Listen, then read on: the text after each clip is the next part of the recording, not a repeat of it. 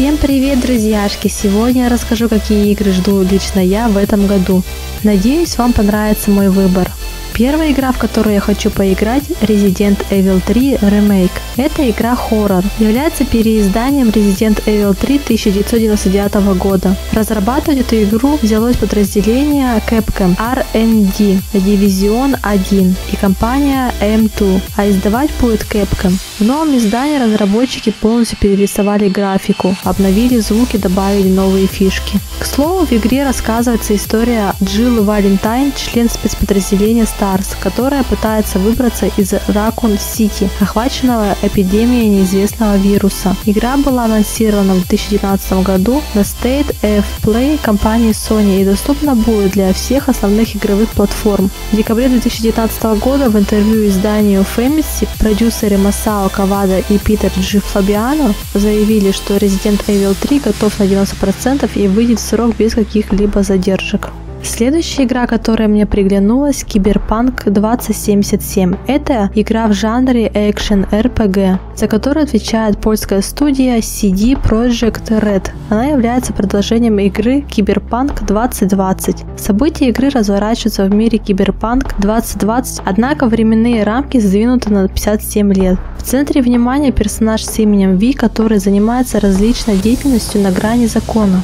Геймерам доступно огромное количество уникального оружия, разнообразных технических гаджетов, а также умений на все случаи жизни. Игра также предлагает определиться со своей историей происхождения, которая влияет на некоторые события, наличие или отсутствие определенных NPC словом. Все как в оригинальной Киберпан 2020. Первое упоминание о игре состоялось 30 мая 2012 года. На E3 2018 года был предоставлен первый трейлер, а спустя год на E3 2019 был показан еще один трейлер и названа дата премьеры 16 апреля 2020 года, но позднее была перенесена на 17 сентября того же года. В общем, жду с нетерпением. Следующая игра в моей корзине желаний Мстители Marvel.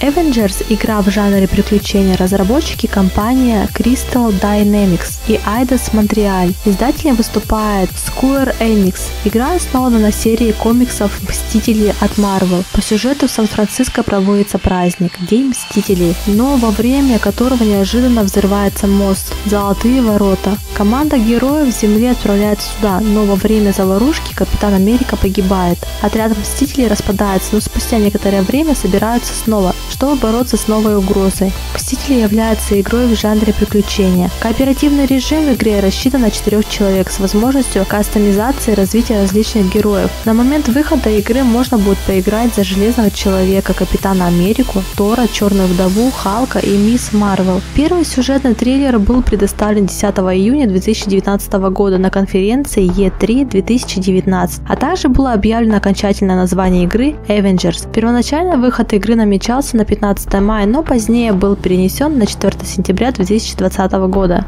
А еще я хочу поиграть в игру Gods and Monsters. Это игра в жанре экшен-приключения в открытом мире, где вас ждут масштабные битвы и интересные задания. Увлекательное приключение на острове в полном мифических чудовищ от создателей Assassin's Creed Odyssey. Только настоящий герой сможет преодолеть хитроумные испытания и опасные подземелья, чтобы спасти богов Древней Греции. Вы сможете исследовать живописный фантастический мир и использовать невероятные способности в борьбе против мифических существ. В общем, это не единственные ваши противники. Вас ждут хитроумные испытания, опасные подземелья и настоящие подвиги. В заключительном противостоянии, как и на протяжении всего путешествия, нам предстоит преодолеть немало трудностей и получить ценные награды. Вам суждено стать настоящим героем. Мировая премьера трейлера состоялась на E3 2019 года. Изначально игра планировалась к выходу 25 февраля 2020. На данный момент на официальном сайте игры указывается текущий код без уточнения даты. К слову, предзаказ уже открыт для всех желающих.